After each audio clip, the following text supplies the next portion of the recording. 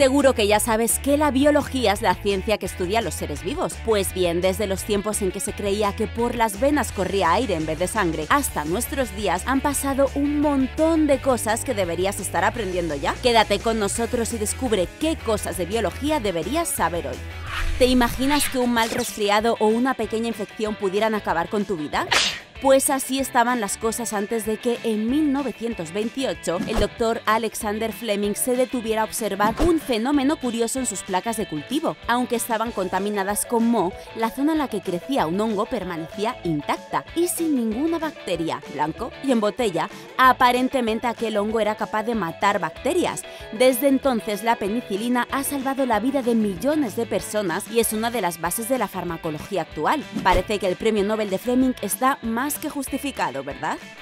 Opio, esponjas mojadas con somníferos, alcohol. Antes de que la anestesia llegara a nuestras vidas, no quedaba otro remedio que valerse de alguna de estas opciones en las operaciones quirúrgicas. Pensad que entre la alta mortalidad que tenían estas prácticas y lo mucho que sufrían los pacientes, operar no era una cuestión sencilla. Es fácil comprender por qué la aparición del éter etílico supuso un antes y un después en la medicina. Existen disputas sobre quién lo descubrió, pero nuestra versión favorita es la siguiente. Crawford Long, médico y farmacéutico, se dio cuenta de que la gente que se drogaba con éter al día siguiente mostraban hematomas y golpes de los que no tenían recuerdos. ¿Por qué? Pues porque se habían desmayado. A mediados del siglo XX se descubrieron otros agentes inhalatorios más fuertes y con menos efectos secundarios a la hora de sedar, pero el éter se merece un hueco en esta lista por ser el primero de todos.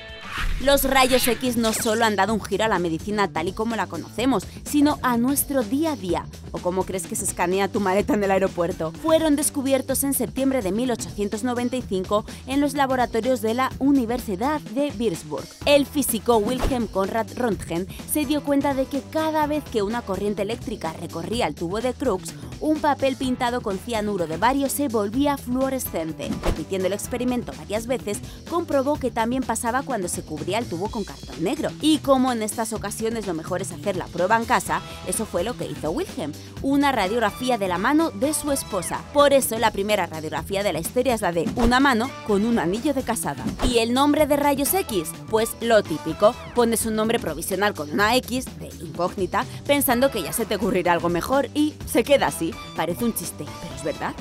Actualmente sabemos que procesos tan cotidianos como la obtención del pan y la cerveza se deben a un proceso enzimático, en este caso al de la fermentación alcohólica. También se estima que existen más de 3.000 enzimas diferentes, aunque algunos afirman que podrían oscilar entre 50.000 y 70.000. Siendo así, parece mentira que no fuera hasta 1926 cuando James Batchelor logró aislar la primera enzima para obtener ureasa en forma cristalina. Ah, perdona, que no te he dicho lo que es una enzima, pues son moléculas creadas por nuestro cuerpo que catalizan miles de reacciones químicas que son indispensables para nuestra salud. Fíjate, si son importantes, que la carencia de alguna de estas enzimas puede causar daños en el proceso digestivo y dificultar el metabolismo.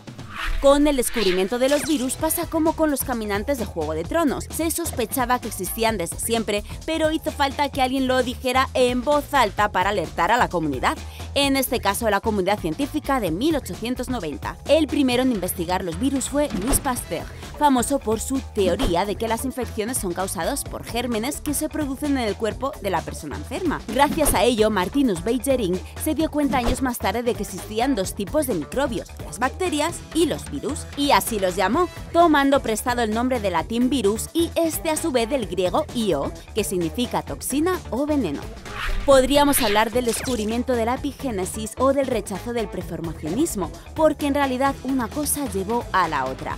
Para que me entiendas, el preformacionismo era la teoría que aseguraba que el desarrollo de un embrión no es más que el crecimiento de un organismo que estaba ya preformado. Vamos, que ya tenía forma en el óvulo o el espermatozoide. Y así se mantuvo hasta que un siglo después Caspar Friedrich se plantó y aseguró que los cambios no ocurren así, sino que siguen una serie de procesos y en el caso del embrión se desarrolla a partir de un huevo, lo que conocemos como cigoto.